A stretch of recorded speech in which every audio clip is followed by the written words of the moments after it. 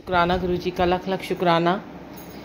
ऐसे ही प्यारे प्यारे भाव देते हैं भोली भाली संगत को गुरु जी महाराज, और आज यहाँ पर आने के लिए ये धीरा आंटी, अंकल के यहाँ, जो भी यहाँ बुलाया गुरु जी ने।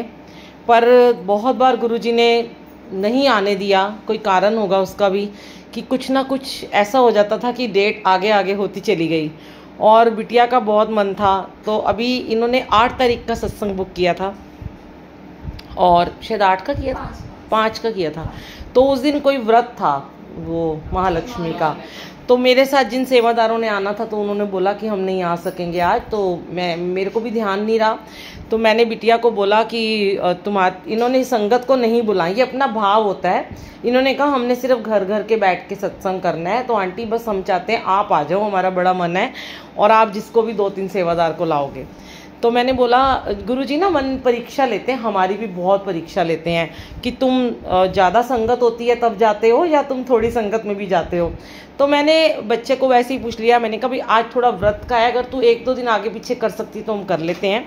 नहीं तो फिर, मैं किसी को यहीं से भेज देती हूँ, लोग जानते हैं यहाँ, संगत सूरजमल बिहार हम बहुत बार आए हैं। तो इन्होंने कहा, मैं सोच के बताती हूँ। तो इन्होंने फिर बोला कि, नहीं नहीं, मम्मी से बात हुई है, आप ही आ जाना, चलो आपको वो डेट दे दो। पर गुरुजी ने जिसकी सेवा लेनी होती है उससे ले ही लेते हैं। और देखो जिसको बुलाना था आज हमारे साथ हम चार ही सेवादारों ने आना था हम चार ही जाते हैं। नहीं सॉरी तीन हाँ तीन और एक में चार। तो इन्होंने बोला कि कितने आएँगे? मैंने कहा चार। इन्होंने कहा तीन हम हाँ, एक आंटी है चार है। उसके हिसाब से इन्होंने प्रसाद अपना बनाया। तो जैसे ही हम आने लगे तो कैब हमारी दो बारी आज कैंसिल हो गई। फिर उसके बाद मैंने जो सेवादार थे, मैंने उनको मायापुरी चौक पे बुलाया, जबकि हमें जाना बाईपास से था, मुझे नहीं पता था। कैब वाले ने बोला, मैं तो वहाँ से जाऊँगा ही नहीं। वो तैयार हुए हुए वहाँ तक पहुँचे। हमने बोला कि अगर हम आपको लेने आ गए तो बहुत उल्टा रास्ता है तो हम तो सवा तीन यहाँ पहुँचेंगे, जबकि मुझे यहाँ पौने दो पहुँचना था। जब सेवा होती तो हम पहले जाते हैं।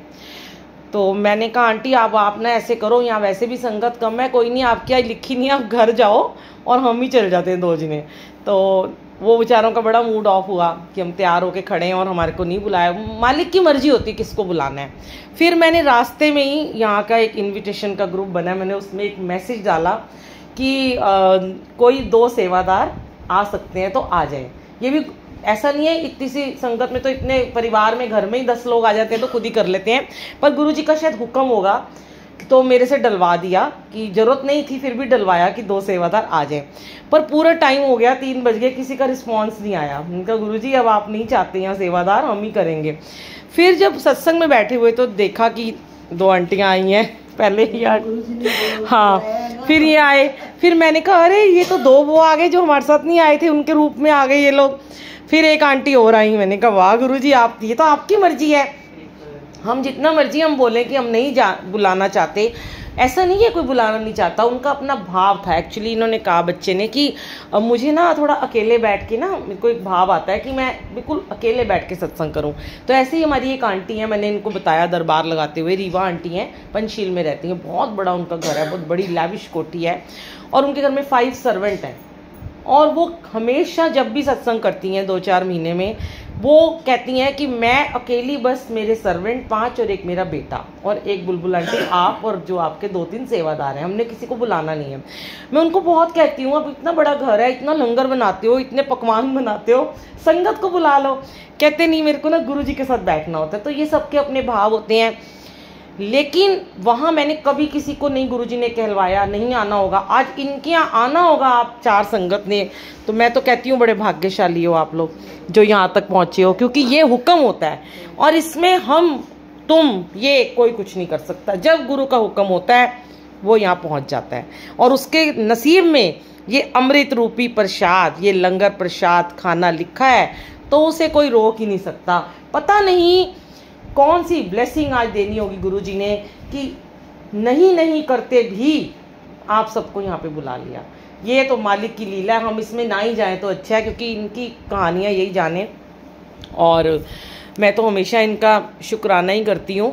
और मैं इनके साथ, मेरे साथ बड़े मज़े भी आते हैं। मैं इनसे अटखेलियाँ भी बहुत कर लेती हूँ, क्योंकि जब ये प्यार करते हैं ना तो जब इन, इनके ऊपर हमें बहुत ज़्यादा जब हमें प्यार आता है ना तो फिर हमें इनके साथ शुक्राने करने का और मन करता है। तो मैं अभी एक छोटा सा ही सत्संग सुनाती हूँ, सब बोलते हैं बुल्लू आंटी ऐसे सत्संग सुनाती है। कल की बात है, मैंने अपने कपड़े निकाल रखे थे, एक और येलो कलर की मैंने शर्ट निकाली थी और एक और निकाला हुआ था। तो मैंने सोचा कि मैं यही पहन के जाऊँगी। तो जैसे ही आ, मैं कल नेल आर्ट करा के आई। और मैंने ये नेल आर्ट कराई और मैंने ये ऐसे ही करा ली मुझे नहीं पता था कि मैं ये वाला सूट पहनूँगी यार और मैंने ये कराई और मैंने सोचा कि चलो ये तो सब अब करा ली एक महीना चलेगी। जैसे ही मैंने अलमीरा खोली और मेरे वो कपड़े तो मुझे दिखे ही नहीं जो मैंने निकाले थे और ये सूट मुझे आगे आगे दिखाई देंगे तो मैं यहाँ पे आई। जब मैं यहाँ इनको तैयार कर रही थी, मैं मैंने कहा, बड़े मज़े लेते हो अब मेरे से। पहले ही मेरी नेल आर्ट इतनी मैचिंग मैचिंग आपने करा दी है कि मेरे को सूट भी सेम पहना दिया है। मतलब इतना प्यार करते हैं कि तू क्या सोचती है? तू ये कपड़े पहनेगी, हम प्लानिंग करते हैं। तो ये कपड़े पहनूँगी, वो पहनूँगी, कपड़े भी इनकी मर्ज़ी से पहनते हैं हम। हम कहते हैं, हम एक सांस भी नहीं ले सकते इनकी मर्ज़ी के बिना। हम एक कदम भी नहीं चल सकते इनकी मर्ज़ी के बिना। इनका, जिस कैब वाले ने कैब बुक करी, वो मेरे घर से सिर्फ़ 200 मीटर दूर था। छः फ़ोन मैंने उसको करे और वो जल्दी हमने बुक कर दी कि उन आंटियों को हमने लेना है। पर वो बंदा कहे कि मेरे को आप मेरी लोकेशन ही बंद हो गई है। आंटी, मेरी लोकेशन ही यहाँ बंद हो गई है, मुझे आपका घर ही नहीं मिल रहा। मैंने उसको इतना समझाया, उसके बाद उसका फ़ोन बंद हो गया। फिर उसने कैब कैंसिल कर दी। फिर दूसरी कैब आने में ग्यारह मिनट लगे और ज़्यादा मिनट लगे। तो उतनी देर में गुरुजी ने अपनी लीला रच ली कि वो आंटियाँ नहीं पहुँच पाएँगी तो उनका नहीं लिखा था। आ, कहते हैं दाने दाने पे लिखा खाने वाले का नाम। भाग्य में आपके लिखा था लंगर प्रसाद उनके नहीं लिखा था। थैंक यू सो मच गुरुजी। ऐसे ही सबको ब्लेस करते रहो प्यार करते रहो। और